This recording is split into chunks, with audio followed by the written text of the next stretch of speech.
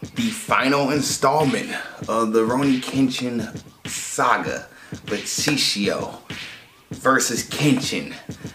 The third movie in this series.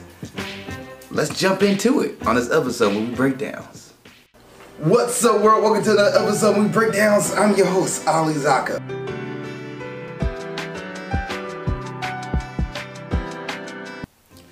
Before I get started, there's a review you want me to do, let me know. Please put in the comment section below and I get to as best I can. And I also have a Patreon, Patreon slash Ali Zakka for $2 a month. Get the cut in front of everybody, get your review out right before it comes on Facebook and YouTube. You also get trade reactions and trade reviews and much, much more content. Now, let's go ahead and get into today's review of Rurouni Kenshin 3, The Legend Ends from 2014.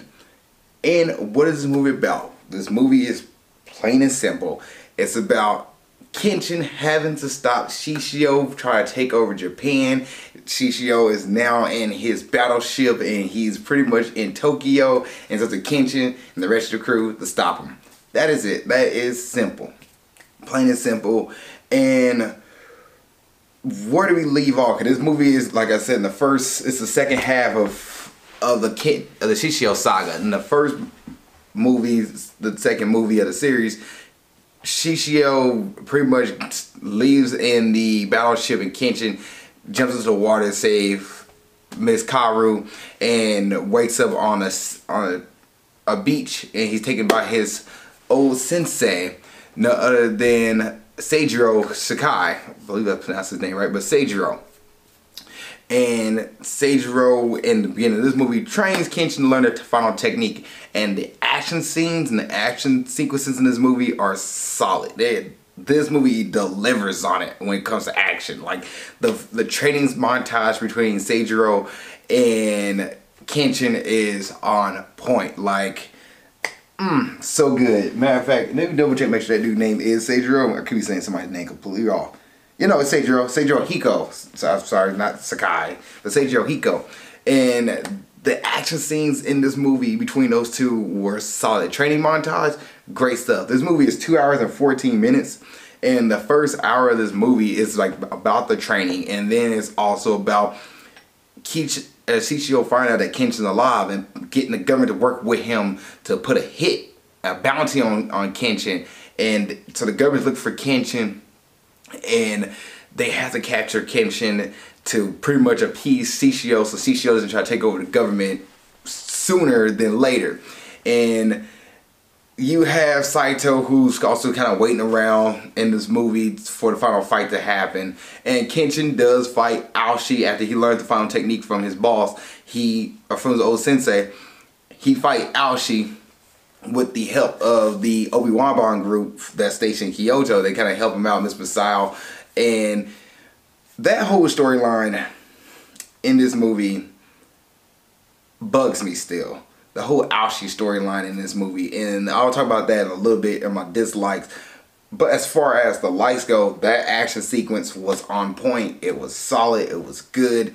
And the action sequence overall, like I said, is solid and good. The music in this movie is solid as well. I love the music in this movie. The original score for this movie works so much for every fight scene, for every down scene. It was great. And I actually like how this movie was a little different from the anime in a sense. Like Miss Kaoru was in a coma for majority of the movie. Or I guess not majority of the movie, but for the first half of this movie, she's in a coma. And this kind of gives Kenshin time to focus on his training and Miss Kaoru's kind of like, all right, well, she's out the picture and it gives something that Yahiko and Sanosuke Sagara to do to keep take care of her while she gets better. So I do like that. And then when Miss Kaoru does wake up, they're like, we're going to Tokyo because get you over her over her Shishio going to Tokyo. So she just figured we're going to Tokyo because that what Kenshin would be at the fight Shishio. So she goes to Tokyo, but Miss Kaoru is actually out of the movie, sadly. Like she doesn't really fight or anything, and Yahiko doesn't really fight or anything either. Sanosuke Sagara, who for the last the first movie, like okay, sure. The second movie, I was like, why is he here? And the third movie, he is just there for the fight He is literally there for the fight. Like he's hanging around pretty much, and then when it comes to final fights, he like he's helping Kenshin now. Like he's Kenshin backup guy. Like that is pretty much what he is in this movie. Um, Saito is there for the fight as well, and the fights are good. I will say that the fights are good. And here comes my dislikes. The Senior Warrior storyline with this Masao, which they never really fleshed out in the movies. So like the relationship between Masao and Aoshi, you're kind of just like man about because it's it's not fleshed out. Masao doesn't doesn't Google and ogle over Aoshi so much like she does in the and romanticize about him like she does in the in the anime, like where she just every time she talks about Aoshi and every little thing, how cool he is, how great he is, and all this stuff. Like in the movie, she doesn't say that, and you don't really get a sense of like that she really pines for his attention and just loves to be around him. No, you're just like, yeah, she just was disappointed how she attacked the Obi-Wan group and, and attacked Okina and just like, why would you do that? And maybe you should change your way. And that's what she tells Aoshi. And which, for some reason, Aoshi shows up the final fight, which doesn't make sense as far as the movie goes. I get it why he does it in the anime. He is there in the battleground with Kenshin in the anime. In this movie, he's in Kyoto. How did he end up in Tokyo to fight? It doesn't make sense to me. Make it make sense, please. Because in the movie, you know the final fight scene was cool. It showed how strong Shishio is, taking on four dudes at once. But why did Aoshi show up? Why did he show up? And then he goes, nobody can defeat Kenshin but me. And then he starts fighting Shishio. And I was like, sure. It was a cool fight, but why are you here? Why are you here? I feel like this is my issue a lot of this, this series is why are characters there that shouldn't be there if we're going to movie wise. Anime, we get it. We get it in the anime why it makes sense, but the movie is like, no. Or when Seijiro, what is the kid's name? Sojiro. Sojiro Seta. When Sojiro fights Kenshin on the battleship, there is a moment where Kenshin is showing like Sojiro that you don't have to be the strongest to win. And he beats Sojiro his own game and Sojiro kind of like realizes he can't fight as quick because he losing his speed. And Sojiro started having a breakdown because because Shishio told him if you're the you're not strong, you're weak and you weak die. And Sojiro was breaking down mentally in his fight. And Kenshin was telling him like, hey, you gotta find your own truth kind of thing. But the movie doesn't really convey why that's such a big deal. The movie just make it happen, and it wasn't for a scene for for Anji explain to Sanosuke Sagara that doesn't really make sense to their fight about what Sojiro does, why um, why I can't think of his her name right now, but why Shishio girlfriend does what she does and Shishio right hand man does what he does. Like if it wasn't for the like if it wasn't for him throwing that the inf information out there, the scene where Sojiro starts breaking down, they don't really add much. It, if you're not paying attention, it's a quick throwaway line. Like it, it, it's not a throwaway. Like it, it flashes to their little with their back, what they was doing. It flashes to their face, but then like it goes right back to the fight where Sanosuke Sagara is fighting Anji, which that's also a very important scene in the anime. But the movie, let's go with it, roll with it. It just happens, and it's just happened between a fight between the two of them, which it's fine. Sanosuke Sagara tickles the dude, and I was like, why? Like, I, I get it. He tickled a guy, but why? Why would he tickle? And, and why did Anji laugh?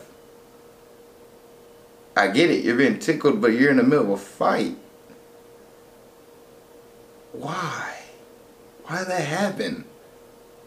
why did that happen? But anyway, like it just I feel like the movie really try to throw in stuff to please the fans, but you're watching as a movie, it it doesn't flow well.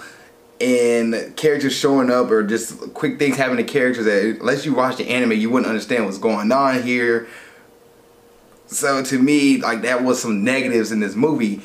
But other than that, I thought this movie was solid. I thought it was a solid movie. I enjoyed this movie a lot more than the other two, and maybe it felt, it felt like a faster paced movie, but maybe because the majority of it was just pure action with the background sprinkled into it. The, groundwork already been laid down in the first movie, so all you have to do is just commit to it, and they committed to it in this movie. So good for them.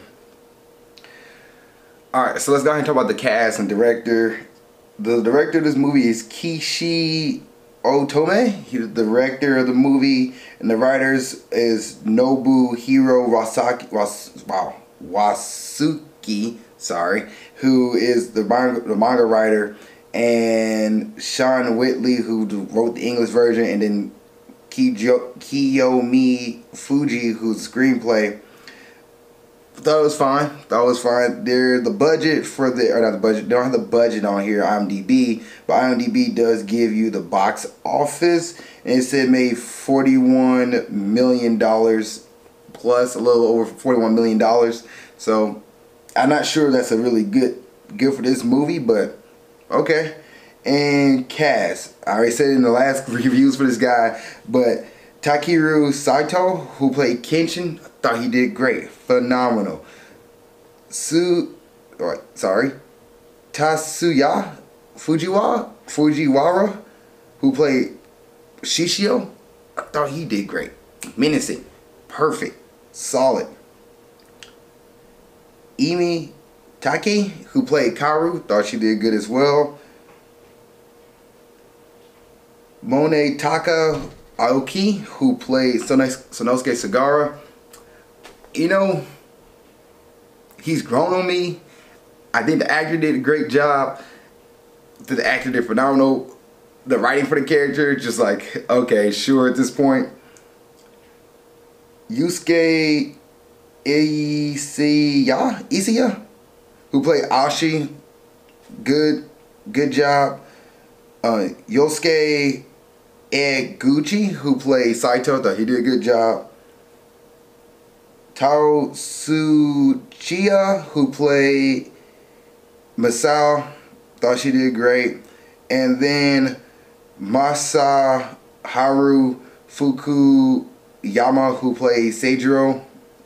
Good job to him. And then Min Takanaka, Ta, na, sorry, Tanaka, Min Tanaka, who played Okina good for him. Sorry guys, my Japanese is bad, but yeah, I thought they did a good job. I thought the cast was great. I thought the cast delivered, and I thought the characters, when you saw them on screen, they looked just like the anime counterpart or the manga counterpart, so you knew who was who. Good job there. Any other thoughts? The music I think was great. The action sequences was good. There was a thing that Kenshin kept doing in this movie. I couldn't understand why, but he would run off and like this this floor slide and then come back into the character or come back to the fighting sequence. And I was always like, why he keep doing it? He did like four times in one fight. And the camera work in this movie was really good. The practical effects was just as solid and the camera work where like for example the bird's eye view watching them fight Shishio was solid. And the battlefields and all these different angles I thought was good. I, I liked the camera work in this movie. I thought the action sequences was good as well. And the choreography the actions choreography and the sword fights was solid. I thought was really really good. I did notice that there's some back like you could notice background props or there's on studio set like when it was back home at the um at Kaoru's dojo or when they was out in the woods with training, you can see like the props and everything. Like the trees weren't really, you know, real trees. I get it, they're on a, on a set, but you can really see it. Like I feel like the other two movies they, they did a better job of blending that in versus this one just like, yeah, this is a set, guys. We can see it. But that's that's probably a nitpick of mine. It's like I doubt people really notice like, oh no, that's that's legit a set. But I I know I just thought was I thought the majority movie was good. There are characters who are get introduced and you think it'll be a big piece of the movie and then just tossed out like that. Matter of fact, the Juppongatana, they they don't really have time to shine in this movie. The only ones who really do are Sojiro, Anji, and then the guy with the the blind dude who shows up for half a second and then gets wasted by Saito. And you're just like, well, they made you a big deal and you're apparently not one. But other than that, like the Jubo, the rest of the Jubo and Gabadon, I don't know what happened to them. Don't know what happened to them all. Matter of fact, there's like 10 of them and not all 10, not all I guess nine because one would have been out the picture fight. So I, it was kind of weird how they introduced him in the last movie and then this movie was just not there at all. I was like, oh, neat. Cool beans. Cool beans. But the final fight, which I felt like last like 30 minutes, was solid. It was a good, solid final fight. And I think it's a good way to end the, end the fight. You know, they are basing it off the manga and anime, so good for them. They, they actually delivered that one well. That's about it. Is this a Friday night movie? Yeah, it's a Friday night movie. Watch your friends and family. Have a good time with this one. And grading time. I'm going to grade Rurouni Kenshin 3. The Legend Ends a B minus. This movie gets a B minus for me, an 80%. And the reason why is that like there are things that happen in this movie where I'm just like, if you didn't read the anime or watch the anime, you'd be like, where does this guy come from? Why is he appearing here? Just because Kenshin fought him middle of the movie doesn't give him a reason to show up in, in Tokyo and fight the final fight. Like it didn't add up. There are certain things in this movie that the movie doesn't explain because the anime gives like anime and manga gives more details on those characters and the movie just kind of like all right well we're gonna throw this character here and we need to have this fight but they don't explain why Sojiro's had a breakdown. They don't explain what Aoshi, or sorry not Aoshi, but Anji and uh, Sanosuke have, like why their fight is important. Really, their fight just comes down to, oh, you're on this ship, you're on this ship, let's let's butt heads, let's do this. And it just like why his hits are so much harder. Like you see, you see Sanosuke getting bloodied, but it doesn't explain why he's being bloody. Like there's moves that happen. For example, Shishio's fire sword. Like his sword when he swings it, it catches fire because of the he can never clean his sword. So the, it's a really disgusting reason. There's human fat on there, and it and it moves so fast with his with his blade that it catches fire, which is a horrible thing and and the movie has a fire happening, but I can see somebody watching this who's like, I don't understand why why his blade's on fire. Like why is these fire flames coming out? The movie doesn't explain it. It just happened, but the anime and the manga actually explains why his sword like sparks fire and explodes when he swings. The movie doesn't. It just happens. It literally just happens. But in the background props did annoy me a little bit. I could not deny that. Other than that, it was fine. I enjoyed this movie. I had a good time with this one. I was more intrigued, more engaged in this movie. So it's a B minus for me. If you see Rurouni Kenshin 3, The Legend Ends, what did you think? Please put in the comments below. Other than that, see you guys in the next episode we breakdowns and keep being awesome. Thank you so much for making it to the end of this video. I really appreciate that. Please don't forget to like, subscribe, and comment. If there's a review you want me to watch or do, let me know. Please put it in the comment section below this video. Also, you want to watch the last episode movie breakdowns, it's right there. Just gotta click on it and you'll be able to watch it.